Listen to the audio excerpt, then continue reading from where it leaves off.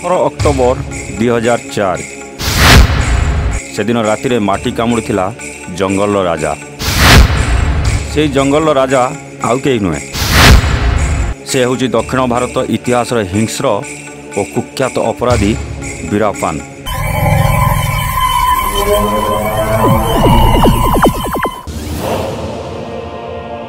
ସେଦିନ ଅନ୍ଧକାର ରାତିରେ ସେହି ଘଟଣା ଶୁଣିଲେ ଆପଣ ଥରି ଉଠିବେ ଆପଣଙ୍କ ଦେହ ଶୀତେଇ ଯିବ ଆଉ ଆପଣଙ୍କ ଲୋମ ଟାଙ୍କୁରି ବି ଉଠିବ।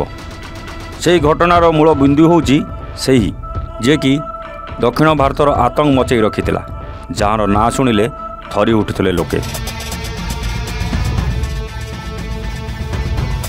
ଆଉ ସାଧାରଣ ଲୋକଙ୍କଠାରୁ ପୋଲିସ ଅଫିସର ପର୍ଯ୍ୟନ୍ତ ସମସ୍ତଙ୍କୁ ମୃତ୍ୟୁର ଭୟ ଦେଖାଇବା ପାଇଁ କେବଳ ଯାହାର ନାଁ କାଫି ଥିଲା। ନିଜର କଳା ଧନ୍ଦା ପାଇଁ କେତେ ପରିବାରକୁ ଯିଏ ମାଟିରେ ମିଶାଇ ଦେଇଥିଲା। ସେ ଆଉ କେହି ନଥିଲା।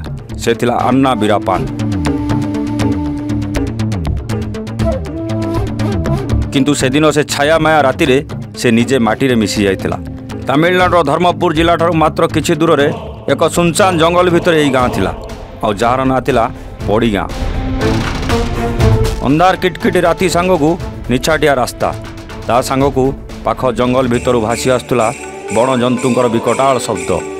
ସେହି ସମୟରେ ଗାଁ ଭିତରକୁ ପଶି ଆସିଥିଲା ଗୋଟେ ଆଖୁ ବୋଝେଇ ଟ୍ରକ୍ ଆଉ ଗୋଟିଏ କଣ୍ଟେନର।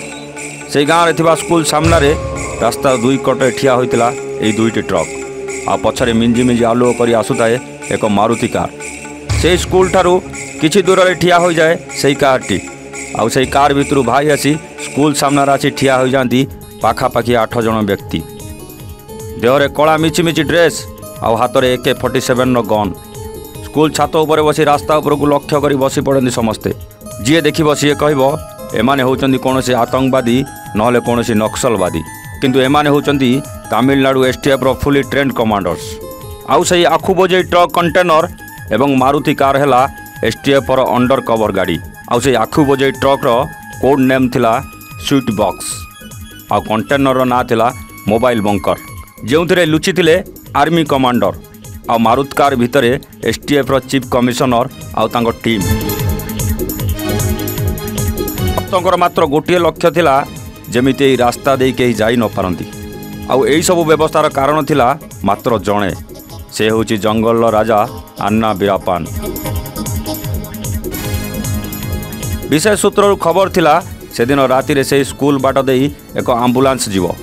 ସେହି କୁଖ୍ୟାତ ଡକାୟତ ବୀରାପାନ ଆଉ ବୀରାପାନକୁ ଧରିବା ପାଇଁ ଏହି ବିଛା ଯାଇଥିବା ଜାଲର ନାଁ ଥିଲା ଅପରେସନ୍ କକୁନ୍। ଅପରେସନର ସବୁଠୁ ବଡ଼ ଭୂମିକା ଥିଲା ସେହି ଆଖୁ ବୋଝେଇ ଟ୍ରକ୍। ଆଜ୍ଞା ହଁ ସେମାନଙ୍କର ପ୍ଲାନିଂ ଥିଲା କିଛି ଏପରି। ଆମ୍ବୁଲାନ୍ସଟି ଯେତେବେଳେ ମାରୁତି କାର୍କୁ କ୍ରସ୍ କରିବ ସେତେବେଳେ ମାରୁତି କାର୍ ଆମ୍ବୁଲାନ୍ସର ପଛେ ପଛେ ଯିବ। ଯେପରି ଆମ୍ବୁଲାନ୍ସ ଆଉ ପଛ ରାସ୍ତା ଦେଇ କୁଆଡ଼େ ଯାଇପାରିବନି ଆଉ ଆଗରେ ଥିବା ଆଖୁ ବୋଝେଇ ଟ୍ରକ୍ ଆମ୍ବୁଲାନ୍ସର ରାସ୍ତାକୁ ବ୍ଲକ୍ କରିବ। ଏପଟେ ସ୍କୁଲ ଛାତରେ ପୋଜିସନ୍ ନେଇ ବସିଥିବା କମାଣ୍ଡାଣ୍ଟମାନେ ଆଖି ବୁଜା ଗୁଳି ଚାଳନା କରିବେ ଆଉ ସେତିକି ବେଳେ ସାଇରନ୍ ସହିତ ଫଗ୍ ଲାଇଟ୍ ଲଗାଇ ଆଗକୁ ଆଗକୁ ମାଡ଼ି ଆସିଲା ଏକ ଆମ୍ବୁଲାନ୍ସ ଆଉ ଏ ଆମ୍ବୁଲାନ୍ସରେ ଲାଗିଥିଲା ସାଇରନ୍ ଏବଂ ଫଗ୍ ଲାଇଟ୍ ମଧ୍ୟ ଥିଲା ଏକ କୋଡ୍ ୱାର୍ଡ଼ ଆପଣ ଜାଣିଲେ ଆଶ୍ଚର୍ଯ୍ୟ ହେବେ ସେହି ଆମ୍ବୁଲାନ୍ସର ଡ୍ରାଇଭର ଆଉ କେହି ନଥିଲେ ସେ ଥିଲେ S T F undercover officer Saravanan siren ଏବଂ ଲାଇଟ୍ର ଅର୍ଥ ଥିଲା ବୀରାପାନ ନିଜର ପୁରା ଟିମ୍ ସହିତ ଆମ୍ବୁଲାନ୍ସରେ ଅଛି। ଆଉ ଫଗ୍ ଲାଇଟ୍ର ଅର୍ଥ ଥିଲା ସେମାନେ ହାତରେ ମାରଣାସ୍ତ୍ର ଧରି ବସିଛନ୍ତି। ସେହି ମରଣାତ୍ମକ ଯୁଦ୍ଧକୁ ମାତ୍ର ଥିଲା କିଛି ମିନିଟ୍। ହଠାତ୍ ଡିଏସ୍ପିଙ୍କ ପାଖରୁ ଫୋନ୍ କଲ୍ ଆସିଲା। ସେପଟୁ ଜଣେ କହିଲା ବାଘ ଜଙ୍ଗଲରୁ ବାହାରି ପିଞ୍ଜରା ଆଡ଼କୁ ଯାଉଛି। ସେହି ଫୋନ୍ କଲ୍ ପରେ ସମସ୍ତେ ହୋଇଗଲେ ଆଲର୍ଟ। ଆଉ ସେହି କୁହୁଡ଼ି ଧୂଆଁ ଭର୍ତ୍ତି ରାସ୍ତାରେ ଦେଖିଲେ ଆଗକୁ ମାଡ଼ି ଆସୁଥିଲା ଏକ ଆମ୍ବୁଲାନ୍ସ। ଶେଷରେ ସମୟ ଆସିଯାଇଛି ସେହି ମୁହୂର୍ତ୍ତର ଯାହାକୁ କି ଅପେକ୍ଷା କରିଥିଲେ ପୁରା ଏସ୍ ଟି କମାଣ୍ଡରମାନେ। କଳା କିଟିକିଟି ରାତିରେ ଫୁଲ୍ ସ୍ପିଡ଼ରେ ଆସୁଛି ଆମ୍ବୁଲାନ୍ସ ଆଉ ଆମ୍ବୁଲାନ୍ସ ଆଗକୁ ଆସି ଠିକ୍ ସ୍କୁଲ ପାଖରେ ଅଟକି ଯାଇଥିଲା। ଗାଡ଼ି ରଖିବା କ୍ଷଣି ଆମ୍ବୁଲାନ୍ସ ଭିତରୁ ବାହାରି ଆସି ଦୌଡ଼ିବାକୁ ଲାଗିଲେ ଆମ୍ବୁଲାନ୍ସ ଡ୍ରାଇଭର ତଥା S T F undercover officer Saravanan ଆଉ ଜୋରରେ ଚିଲେଇ ଚିଲେଇ କହିଲେ ବାଘ ଆମ୍ବୁଲାନ୍ସରେ ଅଛି ବାଘ ଆମ୍ବୁଲାନ୍ସରେ ଅଛି।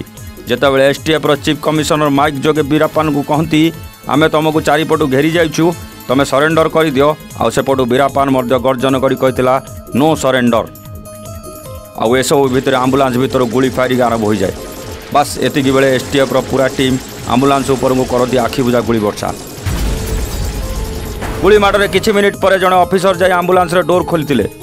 ଆଉ କହିଥିଲେ ବାଘ ଆଉ ନାହିଁ। ସେତେବେଳେ ଏସ୍ଟିଏଫ୍ର ଅପରେସନ୍ ସଫଳ ହୋଇଥିଲା। ଆଉ ପ୍ରଥମ ଥର ପାଇଁ chief commissioner K. Vijay Kumar ଦେଖିଥିଲେ ସେଇ ଡେଞ୍ଜରିୟସ୍ ଖିଲାଡ଼ି ସେ ଭୟଙ୍କର ଅପରାଧୀ ବୀରାପାନକୁ ଇଏ ହେଉଛି ସେଇ ବୀରାପାନ ଯିଏକି କେତେ ପୋଲିସ ଅଫିସରଙ୍କୁ ଜିଅନ୍ତା ମାରି ରକ୍ତ ପିଇଛି। ଆଉ ଇଏ ହେଉଛି ସେଇ ବୀରାପାନ ଯାହାର ନାଁ ଶୁଣିଲେ ଥରି ଉଠୁଥିଲା ପୁରା ଅଞ୍ଚଳ। ଆଉ ଯିଏ ନିଜ ଆଙ୍ଗୁଳିରେ ନଚାଉଥିଲା ପୁରା ଦକ୍ଷିଣ ଭାରତକୁ। ଆଉ ଇଏ ଥିଲା ସେ କୁଖ୍ୟାତ ଅପରାଧୀ ବୀରାପାନର ଭୟାନକ ଶେଷ ରାତି। Bureau report A one Odia